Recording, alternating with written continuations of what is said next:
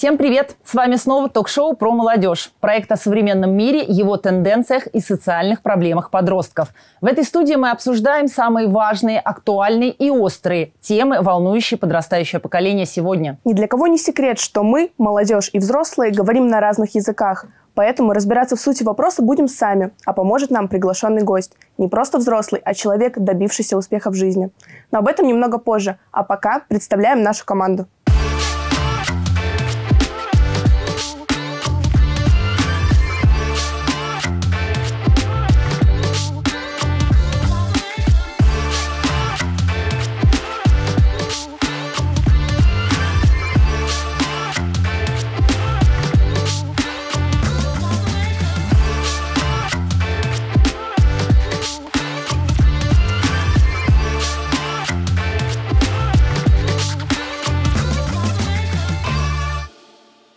Тема нашего выпуска – родительский контроль. Вред или польза. В современном мире родительский контроль перешел в цифровой формат. Всевозможные приложения, ограничивающие доступ в интернет, пребывание в социальных сетях, отслеживающих местоположение, сильно усложняют жизнь современных подростков. Само словосочетание «родительский контроль» звучит не очень приятно. Но этой функцией приходится пользоваться всем современным родителям, которым не все равно, чем их дети заняты в сети. По данным социологического опроса родителей в возрасте от 30 до 45 лет, 38% ответили, что не контролируют своих детей в интернете, а 62% респондентов признались, что в той или иной степени пользуются системами контроля. При этом 54% родителей уверены, их ребенок нормально относится к цифровым ограничениям, потому что понимает, они необходимы. И только 30% детей считают, что цифровой контроль допустим. Многие родители видят сегодня свою цель, чтобы ограничить действия ребенка в сети, оградить его от интернет-ловушек, ненужной информации, бесполезной траты времени, а также обеспечить его безопасность. Ребенок же хочет действовать самостоятельно. Так что же такое цифровой контроль? Каковы его последствия? И в какой момент контроль превращается в унижение? Эти темы мы сегодня и обсудим. Послушаем, какое же мнение у нашей команды. Э, я считаю, что родительский контроль – это лишнее в жизни подростка, потому что у тебя нет своей личной жизни, родители за собой только и следят, и ты не можешь сделать шаг вправо, шаг влево, свободы нет. Я также считаю, что родительский контроль это полный вред, и надо всегда доверять своему ребенку, и также, ну, доверять, но не надо именно проверять. То есть вся эта остальная ситуация, она не нужна. А, родительский контроль, я считаю, что это нужная вещь, но не, не стоит перегибать в некоторых моментах, там, допустим, как э, забирать телефоны или что-то подобное. А, родительский контроль, безусловно, нужен, потому что, но до какого-то конкретного времени, пока ребенку не исполнится лет 16, наверное. Все, что до этого, наверное, ну, не нужно. То есть э, перегиб в этой ситуации не особо нужен. Ребят, давайте поиграем в такую мини-игру. Вы каждый скажете свои ассоциации, когда вы слышите словосочетание «родительский контроль». Первое, что приходит в голову? Мама. Тюрьма. Забота. Цепь. Отобрали компьютер. Слежка. Тотальная слежка. Комната временного заключения. А поподробнее, что это за комната временного заключения? На данный момент, э, к счастью, меня нигде не запирают. Вот. Раньше. Все. Раньше. Что, делиться своей историей или нет? Да. Да? А, на самом деле у меня а, тоже была история а, с родителями, с а, не очень хорошими взаимоотношениями, с отсутствием доверия. Это, а, конечно же, выливалось в ссоры. А, то есть было такое, что у меня забирали телефон. Вот. А, но потом, когда прошло немного времени, я выросла, и я стала смотреть на всю эту ситуацию немножечко со стороны, я э, могу объяснить такое поведение родителей. Когда ребенок вырастает, он начинает отдаляться от родителей, э, он, естественно, теряет связь, у него появляются свои друзья, свои интересы. И, конечно же, любому родителю не будет полностью спокойно за своего ребенка, потому что мир иногда бывает жесток. Э, с ребенком может произойти абсолютно все, что угодно. Еще зависит от ребенка, да, конечно же. Поэтому э, я понимаю, почему родители иногда прибегают к таким достаточно жестким мерам, как забирать телефон, э, возможно, сажать на домашний арест. Это все делается ради безопасности. то есть не во вред, а наоборот во благо. Но получается, как получается. Ребята, а как у вас вообще, у остальных обстоят дела в семье с родительским контролем? А, ну, у меня приблизительно такая же ситуация была с родителями лет до 15-14. А, как правило, они перегибали палку с этим, по моему мнению. Я могла каждый раз оправдать и понять их действия, но я не собираюсь этого делать э, сейчас, потому что, опять же, как уже говорили, это должно быть в меру. И я считаю, что взаимоотношения должны основываться только на доверии, и основываться они должны на этом начинать с детства, а не с подросткового возраста. То есть это не должно... И контроль не должен начинаться, и недоверие не должно начинаться с э, того момента, как ребенок начинает отходить от них, как он начинает отдаляться и прочее.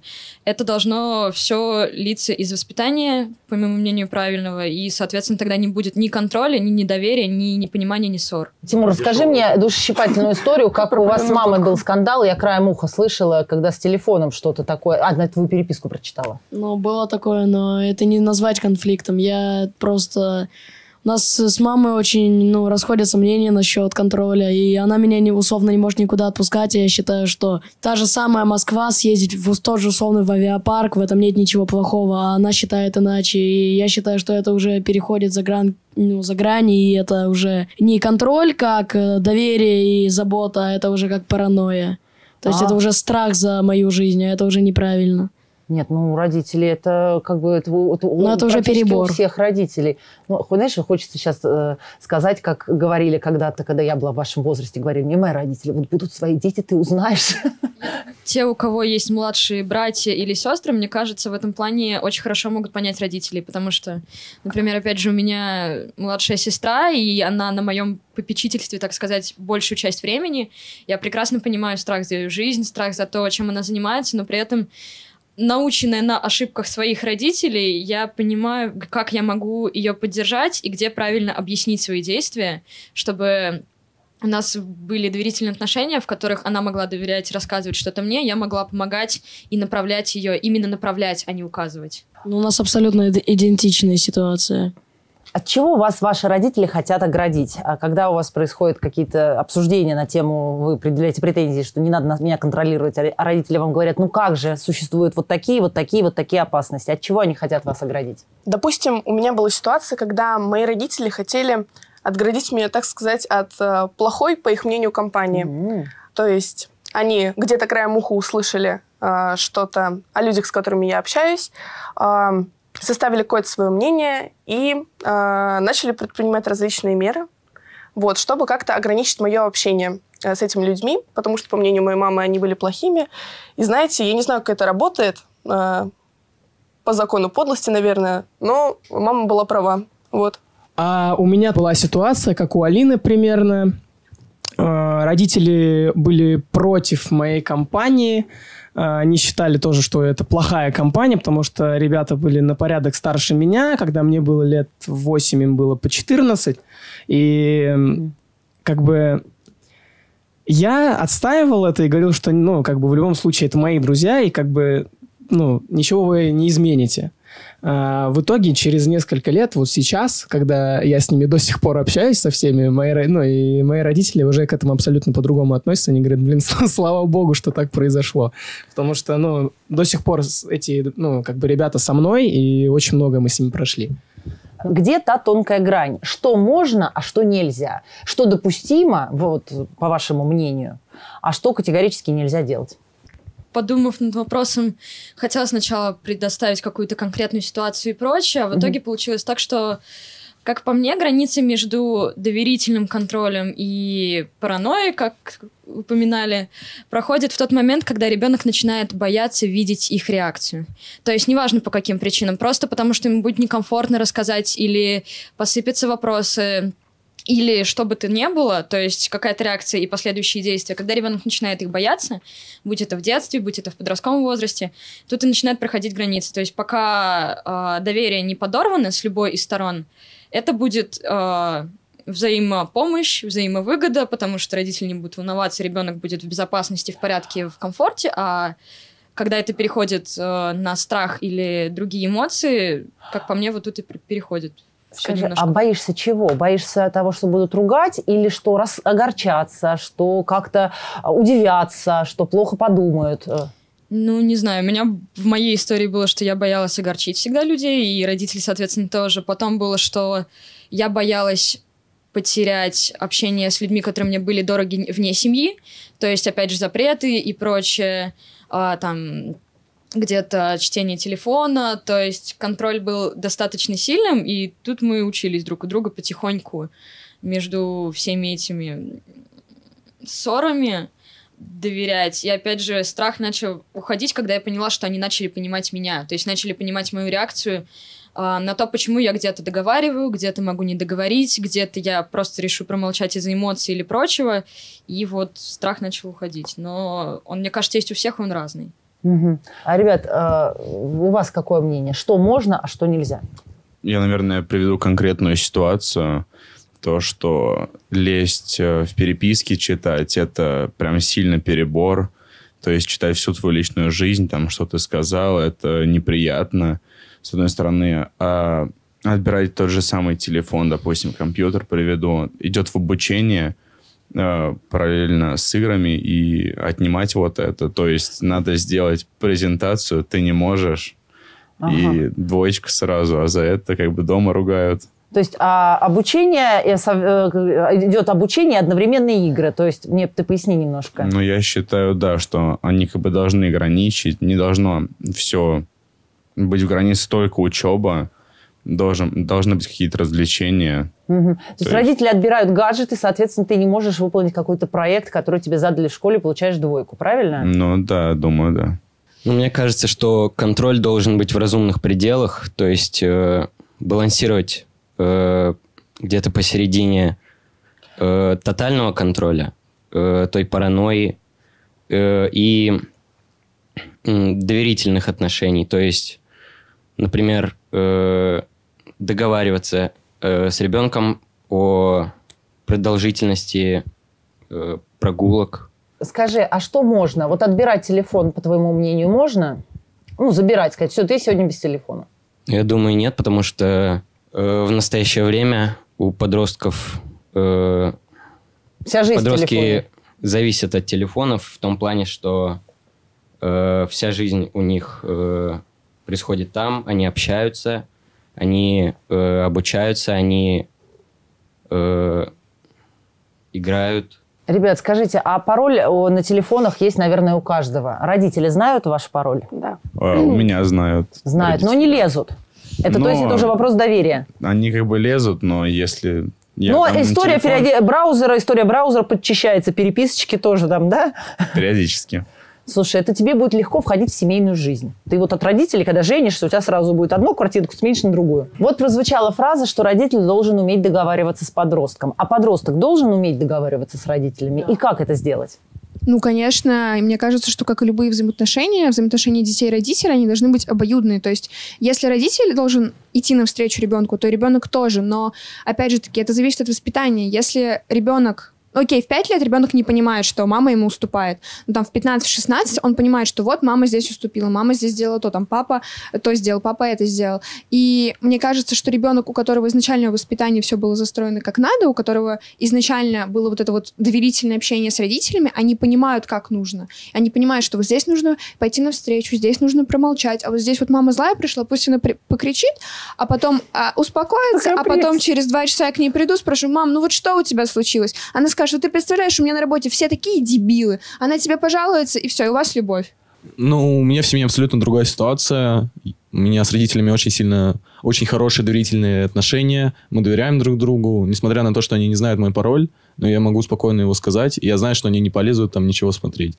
Да и там смотреть нечего. Они тебя везде отпускают, все разрешают? Или какие-то все равно границы они тебе Ну, конечно, есть какие-то границы, ну, то есть в Питер они меня не отпустят прямо сейчас. Но в Москву съездить... Ну, то есть границы есть, но ты с ними согласен. То есть ты... Да, да, да.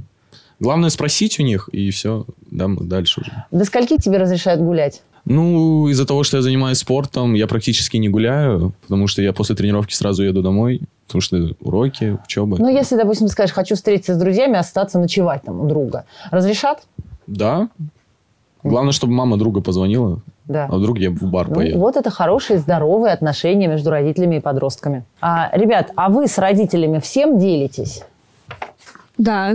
Нет. Всем, то есть ты все можешь рассказать? Ну, я понимаю, что вот я когда прихожу к маме, мы с ней с детства 25 на 8 все время общаемся, обо всем разговариваем, обо всех ситуациях. Она мне рассказывает ситуации, я ей рассказываю все. И я понимаю, что нет того, чего бы я не могла ей рассказать, и меня всегда поймут. Да, конечно, она сейчас не все знает, но она не знает не в силу того, что я не доверяю или боюсь ее реакции. Если зайдет тема, я могу спокойно рассказать. То есть, если меня что-то волнует, я всегда рассказываю, всегда получаю поддержку, всегда получаю ответ, и да, я могу сказать, что моя мама знает все. Прекрасно. Сейчас у меня с мамой достаточно доверительные отношения, но это было не всегда так. А, только вот, наверное, с прошлого года я начала ей доверять прям практически все. А после того момента, как мы с ней сели и прям серьезно поговорили на тему наших отношений, как это, как мы будем их строить дальше, а, и мы совсем разобрались, и теперь мы можем друг другу доверять, и я ей все рассказываю абсолютно. Вот, нужно обязательно разговаривать с ребенком. Ну, лично я не все рассказываю родителям. Я говорю им только то, что они должны знать. Потому что если я им расскажу все о своей жизни, скорее всего, я уеду в детдом. А что ты не расскажешь? Ну, если я приду домой и скажу, что я получил 5 по физкультуре, я точно промолчу про двойку по математике. Но они же ее все равно узнают. Сейчас же есть школьные порталы, и родители там, ну, как Ну, сказать, а в этом- постоянно. В этом и смысл, что мои родители доверяют мне и не проверяют электронный дневник. А, электронный дневник не проверяют. А что, так можно, скажет моя дочь? Ну или, ну или, например, вот та же ночевка. То есть я матери скажу, что лег спать, но А сам пойдешь на ночевку. Нет. У друга я скажу, что А, мы уже лег легли спать. спать. Все, я поняла, да. Ну, а там дальше как получится. Как получится. А, у меня с мамой сложились очень хорошие доверительные отношения. Я ей могу рассказывать все, ну, практически все. И она мне тоже может рассказывать какие-то свои ситуации. А, я ей могу доверить какие-то свои секреты, она мне может доверить какие-то свои секреты. И мы полностью друг другу доверяем. Она не проверяет мой электронный дневник. И ну, у нас не очень хорошие доверительные отношения. Она мне верит, и она не проверяет мой телефон. Тимур, как у тебя с мамой? Ты все ей рассказываешь? Э, Я промолчу. Тоже ответ. Мы провели опрос в нашей школе и узнали, насколько наши сверстники готовы доверять родителям. У тебя доверительные отношения с родителями? Да, я считаю, что доверительные отношения с родителями это очень важно. 50 на 50. Я вот считаю, что у меня очень э, хорошие взаимоотношения с родителями. Я считаю, что э, никаких проблем нету.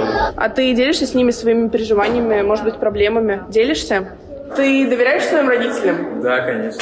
А ты делишься с ними своими проблемами и переживаниями? Да. Ну, тогда как? Потому что я лишний раз не хочу заводить ссору с ними и делать так, чтобы они переживали. Да, делюсь. Почему? Ну, потому что родители могут всегда помочь ситуации. Сейчас мы пригласим в студию нашего специального гостя и узнаем его отношение к этому актуальному вопросу. Чего больше в родительском контроле – вреда или пользы? Сегодня у нас в студии российский спортсмен, предприниматель и спортивный функционер Алексей Ческидов. Алексей Ческидов – бизнесмен, президент Федерации триатлона Московской области, спортсмен, организатор спортивных соревнований. Большой любитель активного образа жизни. 12-кратный участник марафона Ironman, Алексей несколько раз пробегал марафон 250 километров по пустыне, а также занял третье место в самом опасном ультрамарафоне в мире. На протяжении нескольких дней ему приходилось буквально выживать в джунглях Бразилии. Я победил. Не зря триатлоном занимаюсь. Этот железный человек родился и вырос в Тюмени, а образование экономиста получил в Нидерландах, где прожил 8 лет. С 2002 года живет и работает в Москве. Кроме своих спортивных и предпринимательских успехов, Алексей – заботливый муж и отец троих сыновей. Значительную часть своего времени он уделяет воспитанию детей и прививает им любовь к спорту. Ведь, как известно, в здоровом теле – здоровый дух. Здравствуйте. Здрасте. А, Можно узнать ваше мнение, как вы относитесь к родительскому контролю? А, Контролируете ли вы своих детей? Ну, я считаю, что родительский контроль, ну, что контроль это какое-то такое слово очень ну, жесткое, я бы так сказал. Вообще родители вам точно желают хорошего, А, И поэтому, э, если они вам что-то рекомендуют делать, то, то, то, наверное, да. Бывает, правда, что родители пережимают, э, и, и вот это, собственно говоря, плохо. Э, Контролирую ли я своих детей? Э, Нет, Э, я их не контролирую. Мы с ними договорились о том, что то есть, они будут делать то-то, то-то, и тогда, собственно говоря, у них все будет хорошо. И вот единственное, что я делаю, это когда они выходят за рамки наших договоренностей, я их, собственно говоря, приземляю обратно в, вот, в этот коридор. А что вы подразумеваете под словом «приземляете»? В чем проявляется ваш контроль? Ну, допустим, то есть э, у меня средний сын, он э, там любит тусить с друзьями, да, то есть и мы договорились о том, что он э, в 11 часов вечера должен быть дома. И, соответственно, если он, а, ну, один раз, собственно говоря, он пришел позже, мы с ним про это поговорили, но теперь я как э, отец понимаю, что он может соскочить, я заранее ему звоню и, говорю, и напоминаю ему о том, что в 11 часов он должен быть. Он говорит, да, все хорошо, пап. И больше проблем этих нет. Поэтому вот я про это сейчас говорю. Как вы считаете, с какого момента между родителем и ребенком должно начинать выстраиваться вот это доверительное отношение или родительский контроль, как все по-разному называют? Но я имею в виду, это идет с детства или это в какой-то определенный момент родитель включается, что вот надо? Я думаю, что как только ребенок появился на свет, э, родители начинают э, ну, контролировать, чтобы этот э, дитя точно, собственно говоря, вырос и дожил до, до- до- до, ну, до конца дней своих. Поэтому здесь, наверное, больше уже идет от, от ребенка. То есть, как только ребенок становится э, осознанным, взрослым, я бы настоятельно рекомендовал именно ребенку прийти, сесть, поговорить с родителем о том, что, то есть, э, пап или мам, то есть, давайте договоримся. Вот я чувствую, что я уже там что-то соображаю, я уже что- что-то могу. Давайте, то есть, э, договоримся, что будет вот так, вот так, вот так, вот так. Они сто процентов ответом что-то скажут, но у меня у самого так было. То есть, в какой-то момент времени э, отец с мамой меня позвал и говорит, ну, все, мы видим, что ты уже стал взрослым, давай договоримся там о чем-то. И с тех пор, то есть, у нас были прекрасные взаимоотношения. Вас в детстве контролировали родители? Да, да. Ну, э, и я думаю, что это было на самом деле э, только хуже, потому что, то есть, э, ну, у нас же у всех есть протесты, и, соответственно, то есть, чем больше на нас давит, тем, соответственно, ну, то есть, если там человек с характером, то, то есть, он как пружина больше потом выстреливает. То есть, родители все пытались меня там как-то... Ну, тогда было время, от- откровенно говоря, другое. То есть, это тогда развалился Советский Союз, и, соответственно, то есть, э, был полный хаос. А, ну да, они это пытались контролировать. Вы как отец, как считаете, а, чего в воспитании детей делать категорически нельзя? Где находятся эти границы? точно нельзя э, прим- применять физическую силу. Это точно нельзя. Потому что если родитель применяет физическую силу, значит, то есть у него не хватает просто э, мозгов э, донести до ребенка ту или иную мысль. Поэтому я говорю, здесь очень важно договариваться. То есть и родителям в том числе очень важно договариваться с ребенком, потому что ребенок это же личность. Да, то есть это же не твой палец, там, а это личность, с которой, собственно, нужно договариваться. И поэтому вот так. Как думаете, важнее найти и детям, и родителям э, общий подход и идти на компромисс? Конечно. Я вообще считаю, что э, компромисс – это э, самое великое, что есть у человечества. Я, я вообще считаю, что то есть, только благодаря компромиссам человечество и существует. Да, то есть я думаю, что у животных, скорее всего, то есть там с компромиссами немножко все, все сложнее, а, а вот э, ро- родители просто обязаны, как и дети, которые, собственно говоря, вырастают, ну, когда ты уже чувствуешь, что ты, ты, ты вроде бы уже и сам там что-то можешь, то есть э, ты тоже должен идти на компромиссы. Но опять же, еще раз повторюсь, очень важно сесть и договориться о правилах. То есть, если будут правила, там, ну, знаете, там, вот в стране у нас существует Конституция. То есть, мы же все придерживаемся Конституции. Это, собственно говоря, есть компромисс всего. То же самое здесь. Если вы там э, хотите, чтобы у вас дома был мир и порядок, нужно садиться, договариваться и следить за тем, чтобы договоренности э, были.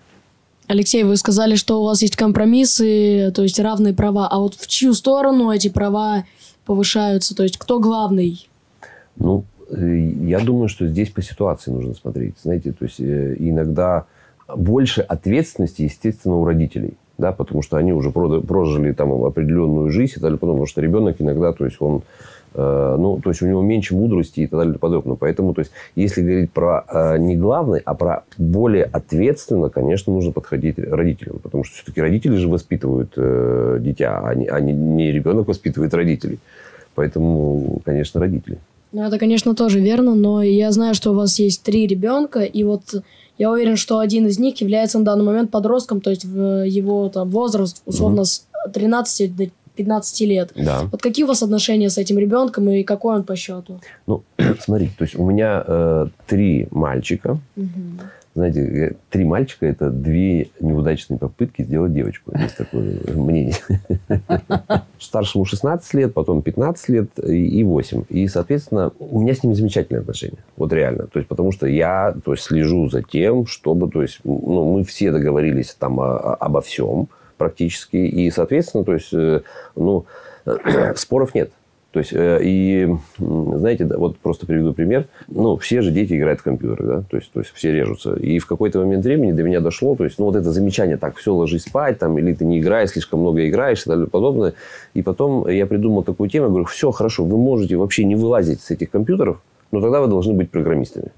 И старший сейчас э, учится на программировании, средний тоже уже учится на программировании. И вообще нет никаких проблем с этим. Все. И младший тоже подтягивается, соответственно, тоже в эту сторону. Поэтому здесь, конечно, очень важно э, и родителям это понимать, потому что некоторые родители ну, реально переживают. То есть я, я в этом случае как-то вот... Э, надо книжки читать по поводу этого. То есть, там уже все написано, на самом деле.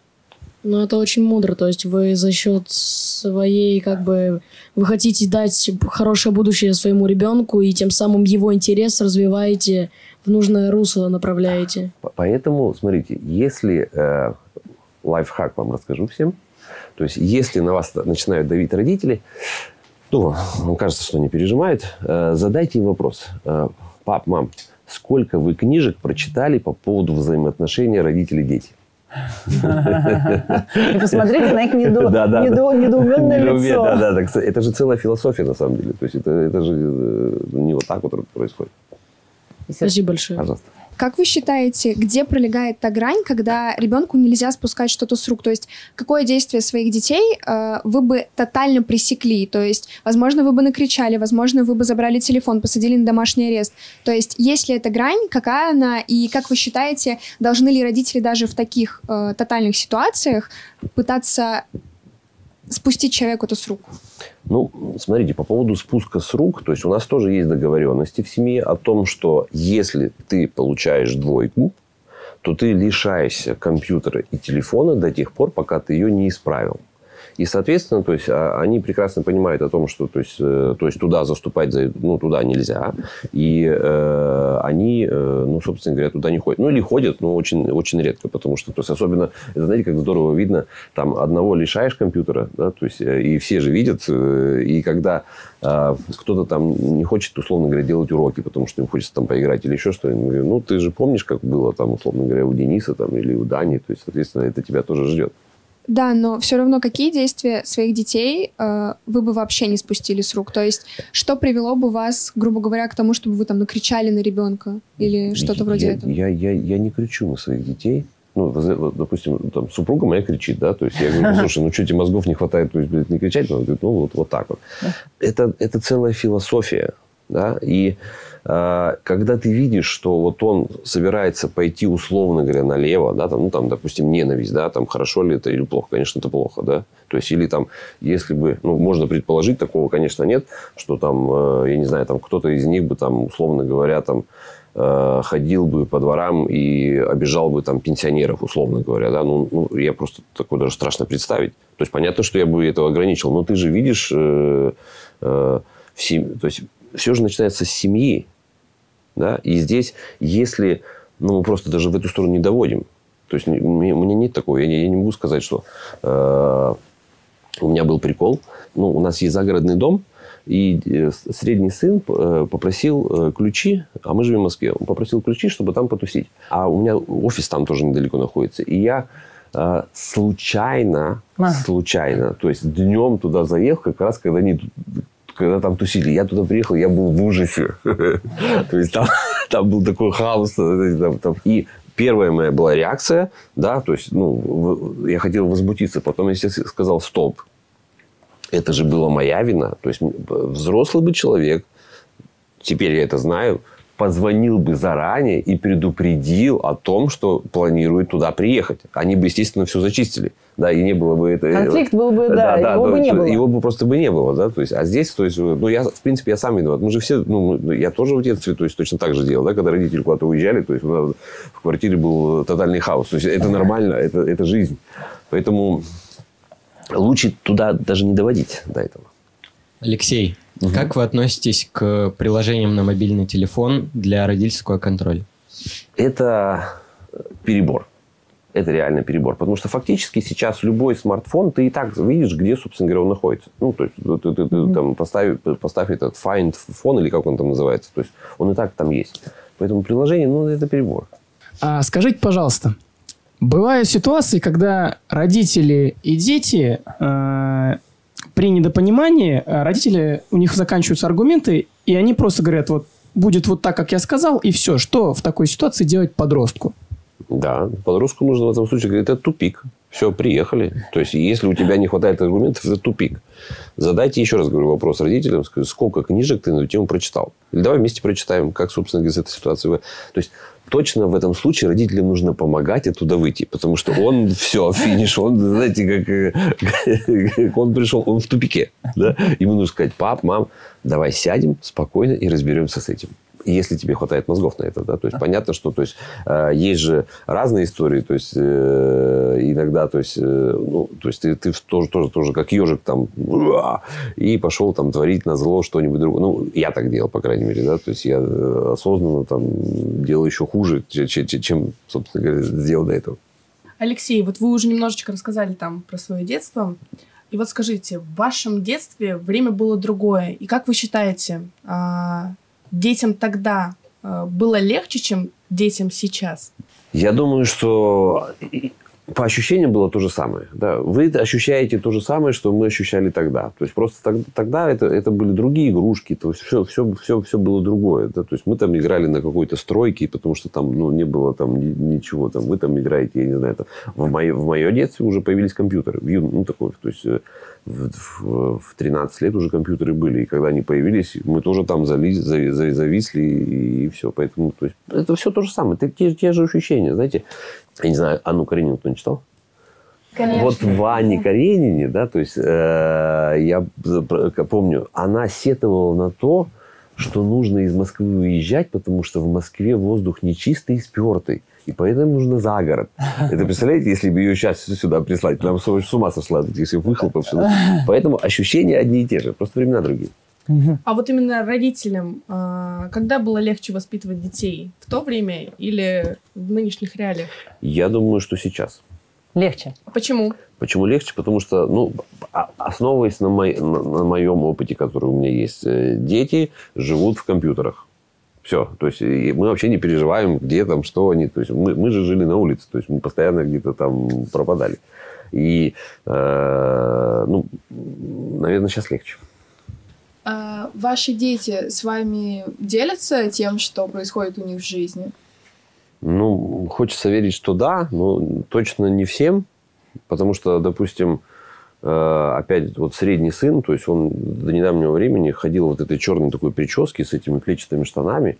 А, и я только лишь из соцсети узнал, что это целое какое-то направление там, и тому подобное. То есть э, Э, но когда я это узнал, он уже тогда побрился, то есть, ну, то есть он уже был как бы другим. Но когда я это узнал, я говорю, ты что, вот, вот в это, вот в этой, вот этой всей штуке? Он говорит, ну да, то есть, а что, это плохо? Я говорю, да нет. Я говорю, просто я даже не знал. Он говорит, ну ты же не спрашивал, я тебе не говорил. Берег, э, берег твою, твою нервную систему. Да, да, то есть, конечно, не всем делятся. Ну, нет, конечно. Младший сын э, недавно мне сказал, говорит, пап, ты знаешь, я иногда обманываю бегаю. Ну, это нормально, ты знаешь, вообще все врут в этой жизни. То есть, он говорит, ну, хорошо, спасибо, что ты сказал. А вы делились своими проблемами с родителями в детстве? Да, конечно. Я, ну, не всеми, опять же, не всеми. Я, то есть, э, ну, конечно, делился там, э, потому что иногда были ну, очень сложные ситуации. Да, там, там э, как-то раз я э, взял без спроса автомобиль, мне еще не было 18 лет, то есть, э, и у меня эту машину забрали гаишники, потому что, то есть, э, и я был в ужасе, я не знал, как сказать родителям про это. То есть, два, двое суток не спал.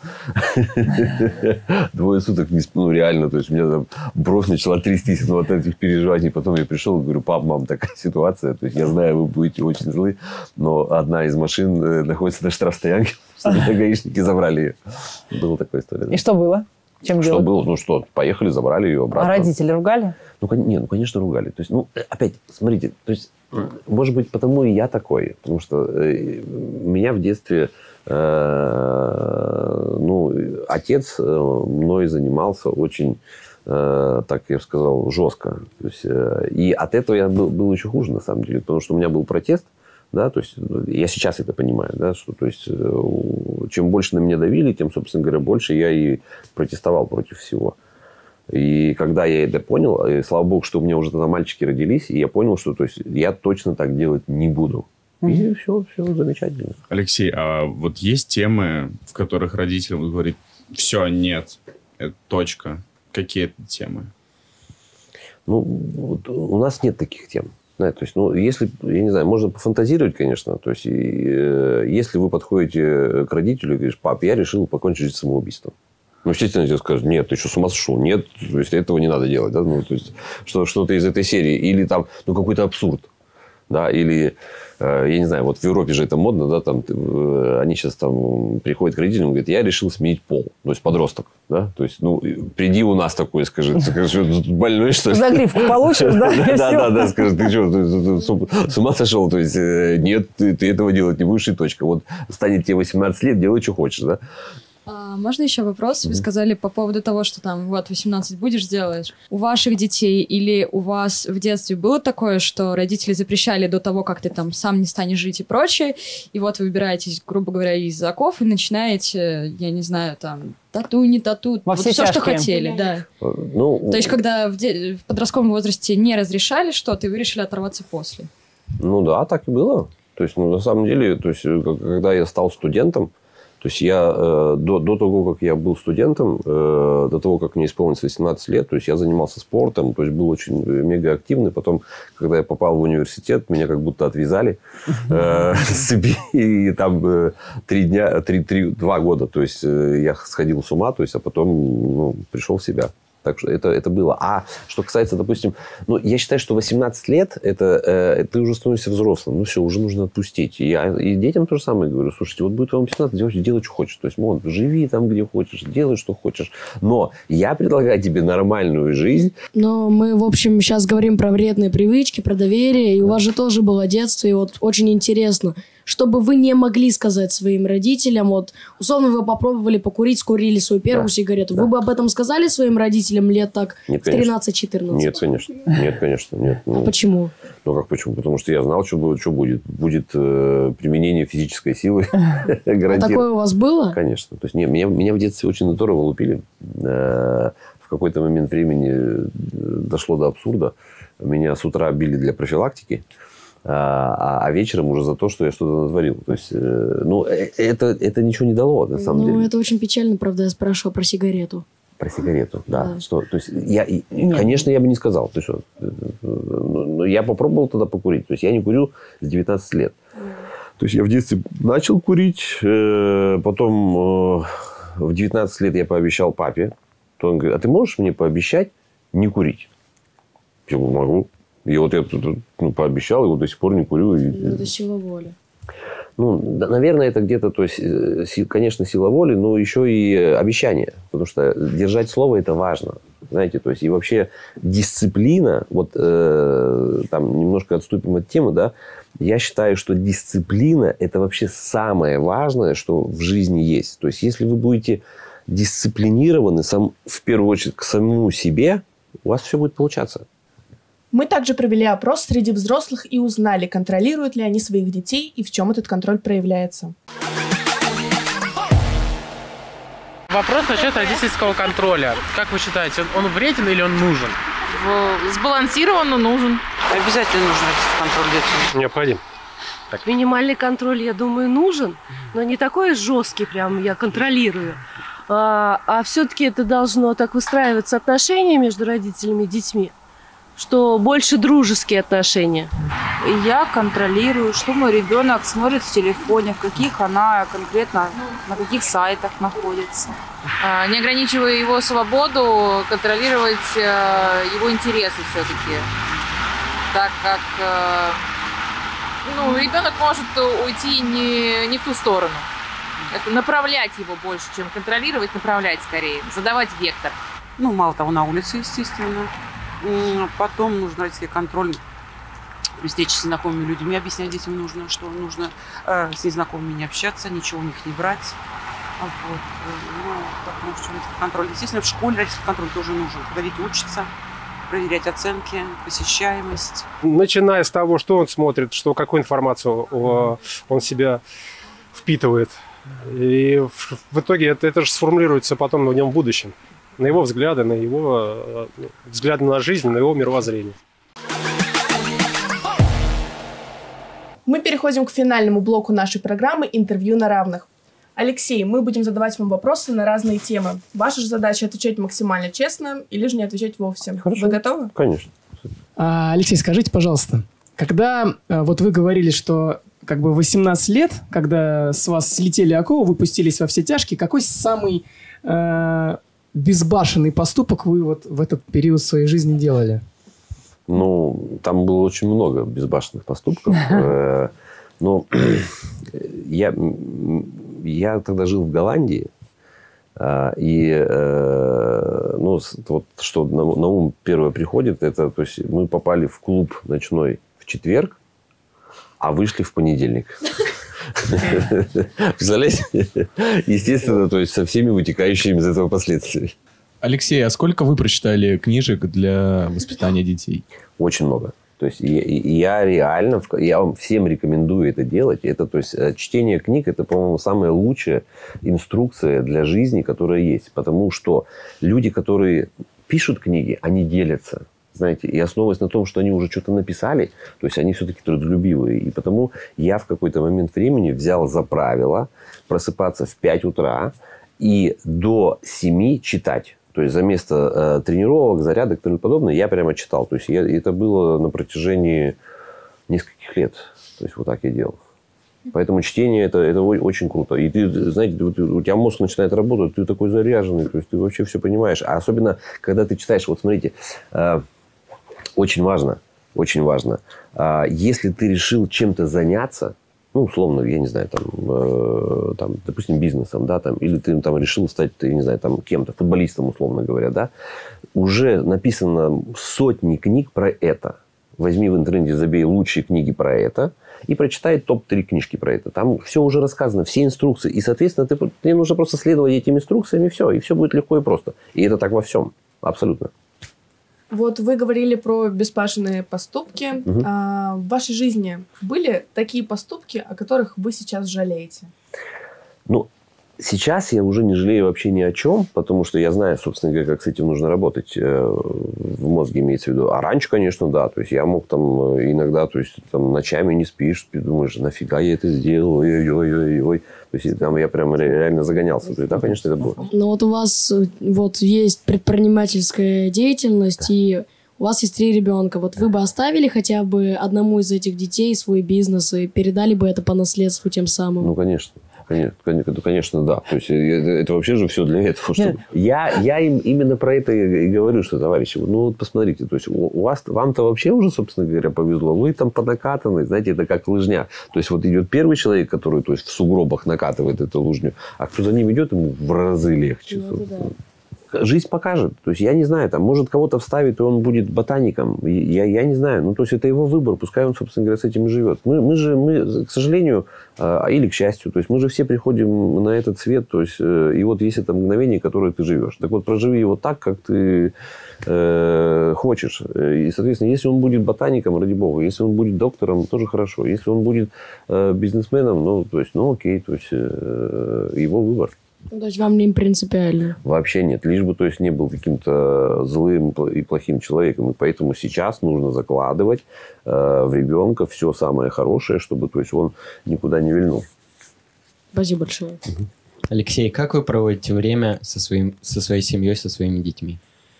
По-разному. Ну, в основном э, я очень увлекаюсь спортом. Да, то есть я являюсь э, ну, организатором спортивных мероприятий. Я сам там многократный участник там, разных соревнований. Там, там, там 12 раз я делал Ironman, там, 3 раза бегал по пустыне э, по 250 километров, там, раз участвовал в джунглях э, в марафоне 270 километров. То есть я, я вообще про спорт. Потому что жизнь, вот по- как я для себя выстроил, это работа, хобби и семья. И, соответственно, то есть, если ты вот в этих, на, на трех этих, собственно говоря, э, слонах э, движешься, то становится все легко и просто. И, соответственно, то есть, детей своих я тоже под- по- ну, подсаживал на спорт. Э, Двое старших, из-за того, что я тогда еще был глупый, я делал это неправильно. То есть, я на них именно, то есть, э, не то чтобы заставлял, ну, вот это как раз то самое. Нет, ты идешь заниматься спортом и точка. И в результате мы за- занимались из-за того, что, то есть, э, они занимались плаванием. Их сейчас тошнит от этого плавания. То есть, а младший мы уже сделали все по-другому, и он с удовольствием плавает, там, триатлоном занимается. Дата рождения вашего младшего ребенка. А, Хороший вопрос. Это точно июнь. Я не помню. У меня с датами проблема. Э, Тогда не, не стоит, наверное, спрашивать, какое первое слово сказал ваш средний ребенок. Да. Нет, это надо мной жена все время прикалывается. Говорит, ну-ка скажи, когда они родились. Я все, все, молчу. А самое страшное, что случалось с вами во время любых забегов, то есть ситуации, когда вы готовы были сойти с дистанции именно из-за волнений и прочего. Э, знаете, э, секрет в том, ну, об этом вам, наверное, мало кто скажет, кто занимается вот этими длинными дистанциями. Но каждый раз, когда ты его бежишь, ты думаешь, зачем я туда поперся? Зачем я туда поперся? Потому что становится очень тяжело. И вот один момент хочу вам рассказать. Я в джунглях занял третье место. Э, Ну, это считается самый сложный э, ультрамарафон в мире. Его, он больше не проводится, потому что то есть, это просто катастрофа. То есть, это, допустим, если ты бежишь в пустыне, ты бежишь, там же ничего не растет, и ты вот, вот сколько глазу видно, собственно говоря, ты вот все понятно, и ты там философствуешь на тему там, жизни, все. А в джунглях там вообще катастрофа, там все вот так вот. И я бежал, это был длинный этап, 117 километров мы бежали за один день.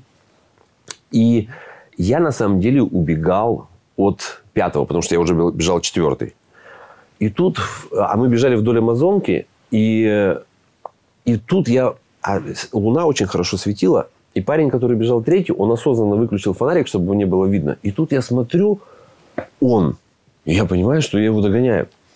И вот, а я с фонариком бегу, он видит, что я его догоняю. И вот я его догоняю, он от меня убегает. Я его догоняю, ну, ускоряюсь, он убегает. И я его ты- третий раз до него добегаю. Я э, хотел ему сказать, давай пешком пойдем, на самом деле. Я ему кладу руку на плечо, он оборачивается и говорит, я больше не могу. И тут у меня, знаете, как будто, то есть допинг мне включил. Я скорее, скорее. В результате я прибежал э, третьим. Этот парень сломался, то есть, потому что потом уже прибежал ну, четвертый участник, а потом мы пошли его искать, потому что и он сидел за два километра до финиша, там плакал, то есть, ну, все был морально разбит. Алексей, а случаи вот со все эти марафоны, которые вы бежали по пустыне, это 250 километров? А джунгли 117? Нет, 270. 270 Да, джунгли? да. Ага. Были какие-то случаи неприятные Да, с другими участниками? конечно, Что да. То есть случалось? люди- Что может случиться на Нет. таких мероприятиях? А на таких мероприятиях ну, люди умирают. Э, То есть ре- ре- реально, то есть э, погибают люди, поэтому ну самое самое самое противное, что со мной было, это опять же в джунглях. А, Я э, по какому-то там болоту э, проходил, и я провалился в гнилую то ли лошадь, то ли корова, я не знаю, что. И вот представляете, я вылажу весь в опарышах. Это вообще было, естественно, у меня, э, ну, а там это по-другому. У тебя там включается история про выжить, да, то есть Да, ты, да, ты, то есть это, это здесь, да, то есть это это- я, естественно, то есть там вы, выбрался, кое-как там обмылся, Э, у меня, естественно, случилось расстройство желудка, ну все, то есть, э, потому что вообще ка- катастрофа. Э, Очень неприятно. Ну, и слава богу, что его закрыли. То есть, э, потому что это вообще... То есть, 70% участников не добираются до финиша. Живыми? Нет, ну, вообще просто сходят. То есть, Процентов добираются? 30. 30, да? Какие опасности да, встретились в джунглях? Опасности? Еще- Опасности, помимо гне- Знаете, гнева. вот там и столько опасностей. Вот я вам э, вот просто рассказываю. Значит, э, первый день А ты спишь в этих, э, как это, ну, ну, э, в гамаках. И я ночью э, проснулся от того, что я решил пописать. Просыпаясь, включая фонарик, смотрю на землю, а там вся живность живет ночью. Потому что днем птички же там, то есть... э, я смотрю, а там просто все вот прям реально шевелится. Я понял, что я писать не хочу. То есть, все. То есть, э, э, это вот эти тарантуры огромные. Я когда пробежал этот длинный этап, знаете, я сел на, воду на этой Амазонке, вокруг тарантулы, а тебе уже пофиг вообще. То есть, все нормально. Нет, это ужасно. Крокодилы. Представляете? То есть мы жили возле... э, у тебя каждый день новый этап, и, соответственно, у тебя разные лагеря. А, И вот мы днем... Оказывается, крокодилы охот- охотятся ночью. Я не знал этого. И вот мы днем там помылись, покупались там. И потом наступает вечер, охранники говорят, все, к воде не подходим, потому что там крокодилы. А потом с утра нам нужно было переплыть эту реку, чтобы... Хорошо, что я, я в триатлоном занимаюсь, ну, я плаваю хорошо, и я всегда из воды первый лазил. Ага. Ну, а когда, когда плыли, это было такое, наверное, Да, ощущение да, да, да, адре- адре- адреналин. То есть, э, не, ну это, это ужасно. То есть, это ужасно. Э, Вы сказали, что вы были в Нидерландах. Э, У вас проходили марафоны в пустыне, в джунглях. Э, Сколько стран э, вы посетили за свою жизнь и где вам больше всего понравилось? Ну, э, я посетил очень много стран. Я, там, ну, то есть я был практически везде. Э, Я бы сказал, что больше всего мне ну, нравится это Китай.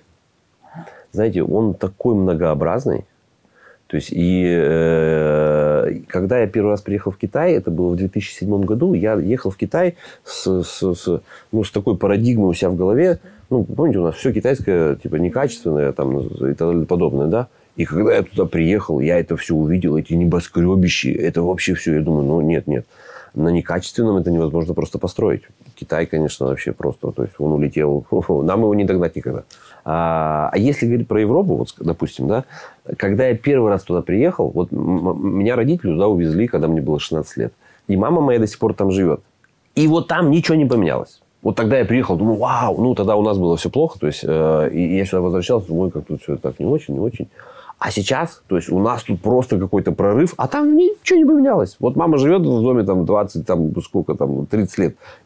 Все то же самое. Одна и та же, вот, вот ничего не поменялось. То есть они там в застое. Ну, вы рассказали очень много интересных историй, у вас богатый жизненный опыт в путешествиях и всем остальном. И мне интересно, по вашему, по вашему мнению, что должен успеть сделать каждый человек, самое именно непростой, а какой-то безбашенный поступок, на который стоит решиться, эмоции его оправдают? Ну, это у всех точно разное. Ну, для вас. Ну, для меня, ну, мне кажется, я уже все сделал. То есть, ну, что я еще не делал-то? То есть, э, я не знаю, там... Ну, наверное, я не купался точно в миллиарде долларов. Вот, чтобы разбросать и нем. Ну, это, это у всех разное. Я не знаю, там, кому-то нравится рисовать, кому-то нравится плавать, кому-то нравится, я не знаю, там, прыгать с вертолета. там, но точно его нужно сделать. Смотри, вот, а, и- э, вот это же называется выйти за рамки. То есть, условно говоря, там, э, почему я первый раз поехал в пустыню? Да? Потому что, когда я услышал первый раз про пустыню, мне показалось, вау, да ну нафиг, это вообще так сложно. А потом внутри себя, что слабо, да, слабо, слабо. Я уже туда три раза ездил, да. Э, ну вот в я точно больше не поеду, есть, потому что это просто ну, небезопасно. То есть, э, поэтому, э, если говорить про, про, ну, там, условно говоря, про тебя, да, то есть, если у тебя есть какая-то идея, ее точно нужно сделать. Ну, лишь бы это не навредить. э, Очень важный момент, эта идея не должна навредить другим. Да, ну вот есть же там некоторые поверженные, там кого-то там уже сжигают, взрывают, там еще что-то, но это, это перебор. То есть, если ты хочешь что-то сделать, конечно, это нужно делать. Алексей, спасибо вам большое за очень интересную беседу, за э, большое количество советов. Очень было полезно. Пожалуйста.